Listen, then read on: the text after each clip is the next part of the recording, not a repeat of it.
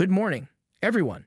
This is what a Reddit user known only as Mr. Anonymous has to say, and I quote A few months ago, my wife, my daughter, and one of my wife's friend's daughters, who is 14 years old, all went out together. Let's refer to her as Kate, and she struck me as an intelligent young lady. She seemed to have a good education, was very articulate, fun, and friendly. The topic of gender somehow made its way into the conversation while we were out to dinner, and I was very interested to get a young lady's opinion on how she saw the mainstream's commentary with regards to gender wars and female oppression. Stupenby fell into the trap of thinking that this young lady was mature enough to enter into an open discussion of truth based on statistically proven facts and the social realities of how good it actually is for women to live in the Western world. However, she was unable to do so. While males are harmful and should be held accountable for their actions, when I asked her about the relationship she had with her estranged father, she immediately burst out into tears and fell into my wife's arms like a crying baby. This brought the conversation to a head, and it was at this point that I asked her about the relationship she had with her estranged father. The waitstaff immediately hurried over to her side with tissues in hand as the entire restaurant turned its attention to us. The human masculine half of me emerged, and I immediately felt genuine remorse, and I made an effort to comfort her. She cried for what seemed like two hours straight, and despite my best efforts to apologize, I honestly felt like a complete and total jerk after the incident. When she finally stopped crying, we took her to her house, and I made the mistake of talking to her as if she were on the same level as me, despite the fact that I was the adult. And to make matters worse, my wife and Kate's mother are no longer friends as a result of this incident. My wife walked her inside, and I later learned that as soon as Kate saw her mom, she burst into tears again. I had to wait another hour for her to be consoled, and to make matters worse, my wife and Kate's mother are no longer friends. For a good number of weeks, I had an awful feeling throughout my body. My wife was just as disappointed in me as I was in myself when she found out what I'd done. Even though my wife and I never got into an argument about it, we didn't talk to each other for over two weeks because I accepted full responsibility for the issue. It was a truly dreadful experience. I accepted responsibility for my actions and made a promise to myself that I would never again engage in conversation with a young woman about any topic that went beyond the weather or the newest music fact. Nevertheless, I can't help but think that this is an example of the best of the female nature. This young lady possesses a high level of intelligence, education, and articulateness.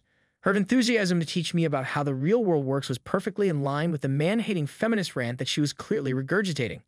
She was very excited to teach me about how the real world works in addition to giving me a lecture on how terrible things are for women, she simultaneously blamed men for everything, despite the fact that they were finally acknowledged for nothing. When things got too difficult, the woman card was played, I started crying, and I was forced to not only submit, but also apologize for my sins of speaking the truth. I was the adult, so it is undoubtedly my fault. Nevertheless, the true lesson she took away from the experience was that when you are confronted by the truth from a male that hurts your feelings, all you have to do is cry and you'll come out on top. In addition, the man won't just lose, but he'll also be the bad guy because of what he did. As a result, I've reached the point where I'm actually terrified of being in the same room as teenage girls. I used to be a big player with a lot of different ladies before I finally settled down, so I've always had a lot of success when it comes to women. Putting aside the possibility of romantic encounters at this point in time, when the younger generation is being brainwashed, I don't even want to be in the same room as young women. What are your thoughts on this particular topic? Did appear to be nothing more than a meaningless chat that went out of hand when you consider that there is a more significant story taking place here that you aren't even aware of. What if, though, this girl resented the amount of quality time your mother spent with your wife, and she harbored feelings of jealousy toward your wife? Therefore, this was the ideal opportunity for you to divorce your wife so that she could receive more attention from her own mother. However, what if, on some level, you never liked this 14 year old teenager, and on some level, your subconscious intentionally spoke about her absentee father in order to aggravate her, not because it seemed as though she was winning the argument she was having with you, but rather because you actively desired to keep this girl's mother away from your partner in the first place. If you were a boxer, you may find that the real cause for things is buried beneath the surface, even though there is almost always a plausible explanation for why something occurs. When you brought up her father, you effectively kicked her in the genitalia which is below the belt and in the balls. I believe that he did it subconsciously out of frustration and that your subconscious was so good at hiding its motives from your conscious mind that you genuinely felt bad about it. But deep down inside you, didn't you think that your wife probably rolled her eyes at you like Jada Pinkett Smith when the whole situation was happening? And then she proceeded to give you the old cold shoulder for a few weeks after that. I don't think your wife is very bright if she doesn't realize that it was a possibility that this girl was using the situation to break up her mother's friendship with your wife. If you were a single man and hadn't been wearing those love goggles, you wouldn't have felt horrible about the situation either. I don't think your wife is very bright. If everything was planned out by your inner Tyler Durden, then he is aware that your conscious mind will feel remorse and regret for what you have said since he knows your mind will apologize for it. While that was going on, Tyler was attempting to remove this girl's mother from the presence of your wife. It's possible that your subconscious mind and the mind of the 14 year old daughter came to some kind of conclusion that was in agreement with each other, such as the fact that you wanted her mother to be separated from your wife, and she desired the same thing. After all, nonverbal communication accounts for 90% of all interactions. It's likely that your unconscious mind, which is already aware of the risks associated with being around young women, disrupted your conscious interactions with her in order to protect you from those risks. The relationship you have with your own subconscious mind, which includes acts of self sabotage, is the most important one you can have in life. It is, in point of fact, oftentimes in your best advantage. I have always been perplexed as to why, when I was a child or a teenager, I would ostensibly say or do the worst things conceivable at the worst possible times.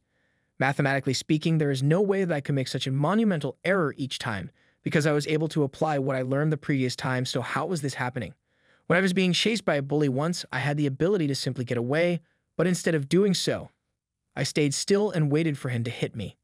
After some time had passed, the bully continued to press the question upon me, saying, Why didn't you run? You could have gotten away. Up until this point, I had no idea why I did the things that I did. I never responded to the question he asked because everything was so out of the ordinary. It seemed as though my subconscious was aware that the bully's subconscious would be tormented by the seemingly irrational behavior I was exhibiting. As a result, the bully eventually stopped bothering me after that and left me alone. The girl, on the other hand, played the gender card as soon as she was slapped below the belt because she interpreted it as a direct assault on her person. You were losing the fight with your facts, and she was winning the battle with her feelings, but then you brought up her father, which messed up her feelings even more to the point where she went nuclear on you. It seems to be the most reasonable explanation, but I want you to ponder deep down whether or if your subconscious was trying to get rid of her because you didn't like the influence her mother was having on your wife, in which case you are also correct. In today's day and age, there is no use in engaging young women in conversation regarding contentious topics. You won't be sharing your bed with them at all. They won't really educate you because there isn't anything you don't already know about life that they can teach you, that they can teach you better than you already know it. Many women in their 20s, 30s, and even later in life are just as problematic. You may have been looking for validation based on your point of view on men's rights and the woke society around you, but she was looking for drama, and she got what she wanted your emotional pain and suffering. You may have also been looking for validation based on your point of view on men's rights and the woke society around you. There's also the possibility that she saw you as nothing more than a simple source of entertainment that she could have easily substituted for herself. If you came out being all pro feminist, a conservative point of view would be that people don't have ideas. Rather, ideas have people. I believe Nietzsche said that when it comes to women, I would say that women don't believe in their own opinions. Rather, they believe in what their opinions can do for them.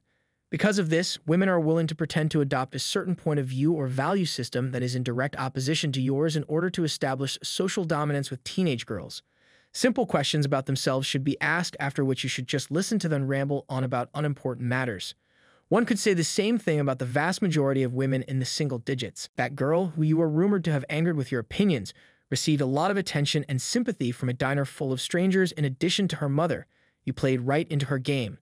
Perhaps it was the plan of her subconscious and it was just crocodile tears. On the other hand, perhaps it wasn't. You will never learn the truth now.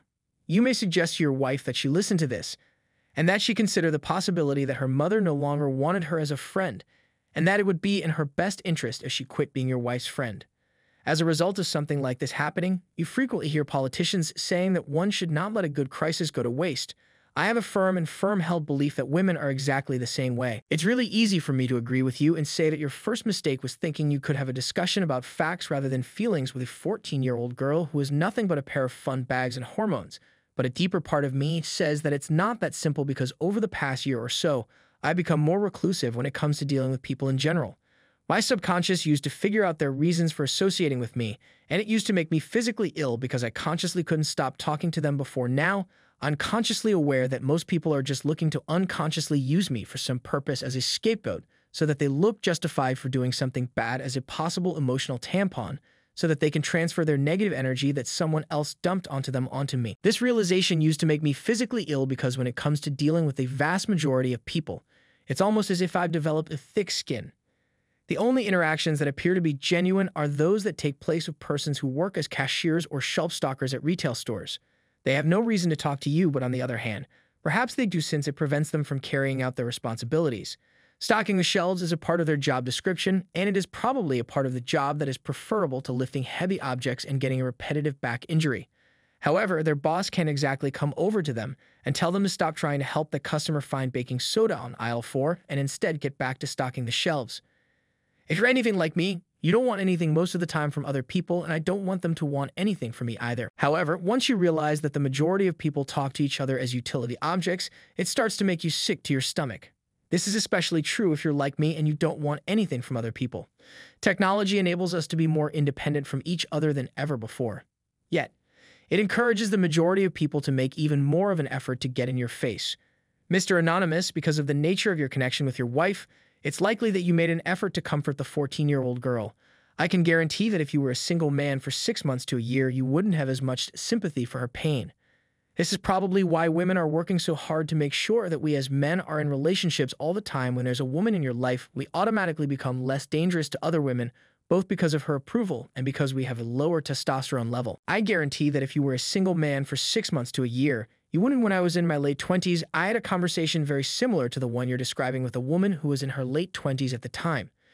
She understood what I was getting at in terms of the nature of women, but her husband had no idea what the hell was going on or what we were talking about. He noticed that she was becoming very upset, but he had no idea why. This conversation took place about four years ago. This is an example of what the human subconscious is capable of doing when two unconscious minds communicate with one another. It seemed as though we were speaking a foreign language that he was completely unaware even existed.